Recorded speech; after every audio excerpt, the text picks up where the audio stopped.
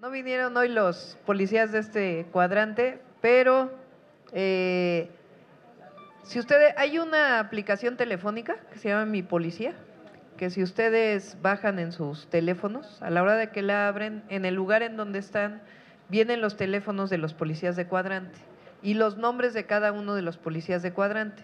Por cada cuadrante, que son 847 en la ciudad, hay tres policías dependiendo del turno. Entonces ahí vienen los nombres de los tres policías y todos usan el mismo teléfono, que es un teléfono al que ustedes se pueden comunicar en cualquier momento. Entonces, para que ustedes tengan la información de los policías de cuadrante. Eh, ¿De qué sirve esto? Bueno, que ustedes conozcan a la policía, que tengan una comunicación. Aquí seguramente ya los compañeros les explicaron. Hacemos una comisión de seguridad ciudadana eh, para abrir un chat en el teléfono, tal manera de estar coordinados permanentemente tanto con los jefes de cuadrante como de sector, para en cualquier momento que haya cualquier problema se pueda estar comunicando con los policías, además de la propia aplicación. Ese es, digamos, lo primero. Además está el tema de protección civil, que es importante pues por el tema de sismos, etcétera. Pero en seguridad se hace una comisión de tal manera que hay vecinos que ustedes eligen o que ustedes eh, voluntariamente se apuntan para poder tener esta vinculación directa con la policía. Está aquí, vino el Ministerio Público. También a ver si se presenta, por favor. Con gusto, doctora. Vecinos, nuevamente les repito mi nombre. Soy el licenciado Pablo Becerril. Vengo en representación del fiscal en Tlalpan. Les repito mi número telefónico para los que no lo tengan. Es el 5200 9345 como lo comentamos hace unos minutos, va a ser un gusto y un placer poderlos atender, poderlos ayudar. Mi oficina está en Jojutla y Matamoros, ahí en el centro de Tlalpan. Con todo gusto los espero recibir. Gracias. Bueno, eh, como bien decía la vecina, aquí históricamente se ha presentado un tema de inseguridad relacionado con el propio campo. Eh, yo pienso que en la medida que un espacio público se utilice, se ilumine y se generen otras actividades distintas al abandono, en ese momento se recuperan los espacios públicos. No todo se puede resolver con policías, aunque es fundamental que haya buenos policías y que estén atentos.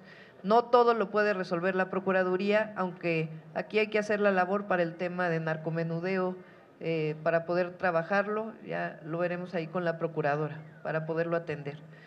Pero necesitamos recuperar el espacio público. Entonces, aquí se hizo un centro comunitario cuando nosotros estuvimos en la alcaldía, en la delegación. Eh, pero le comento a Patti que si ustedes lo desean, podemos hacer también un pilares en este lugar. Los pilares son espacios con una ciberescuela, con, un, con actividades culturales, con actividades deportivas y con actividades de capacitación para el empleo. Sería cuestión de ponernos de acuerdo para que evidentemente se mantuviera la cancha, pero se pudiera hacer un pilares en este lugar. ¿Qué ventaja tiene? Que permanentemente hay actividades, desde muy temprano en la mañana hasta la noche, y se está ocupando el espacio. Entonces, si ustedes así lo desean, si quieren ahorita lo pongo a votación, hacemos un pilares aquí en, en el campo Xochitl. Eso sería muy bueno porque genera actividad permanente. Ahora vamos a ponerlo a votación.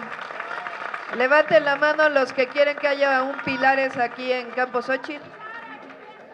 Bájenlo. Quien no quiera. Quien no quiera. Ah, bueno. Está bien. Está bien. De acuerdo. Vamos a hacer una cosa, que los compañeros de Pilares vengan con ustedes, este Ernesto, que nos ayuden con la alcaldía, para que junto con ustedes lo planeen, ¿sí? De tal manera que nos digan. Las ah, perdón, las broncas de los chamacos son en la noche. Entonces, en la noche debe de ser la vigilancia. De acuerdo. Entonces, a ver, entonces, primer acuerdo, presentación de la policía, ustedes tienen sus teléfonos, todo lo demás. Segundo acuerdo, aquí hacemos un pilares. Vienen los compañeros de pilares para que junto con ustedes definan en qué lugar estaría, de tal manera también que haya la activación de Ponte Pila de manera más segura eh, que lo que está actualmente. ¿sí? El tercer planteamiento que queremos hacerles es que ahora estamos colocando unas nuevas cámaras de seguridad. Son unas cámaras que eh, no son tan altas como las del C5 que hay en toda la ciudad, sino son unas cámaras más pequeñas que le llamamos tótems, porque tienen varias eh, posibilidades. La ventaja que tiene es que tiene un botón de pánico. Está la cámara, puede grabar y en el momento en que se aprieta el botón de pánico suena una alarma sonora y también empieza a grabar y a conectarse con el C5 y se le informa a los policías para que puedan llegar. Cuando se coloca la cámara, ustedes deciden en dónde se pone y deciden también algunos vecinos responsables que tengan un control a distancia, de tal manera que entre si ustedes se hablan, se activa la alarma, suena la alarma sonora, les avisan directamente a la policía y llegan de inmediato. Son varias cámaras las que se pueden colocar aquí en la primera sección, es todavía, ¿no? De la Miguel Hidalgo. Entonces, para que ustedes también en reunión con participación ciudadana, con la alcaldía, digan, las queremos aquí, aquí y aquí, y estos son los vecinos que se van a hacer cargo.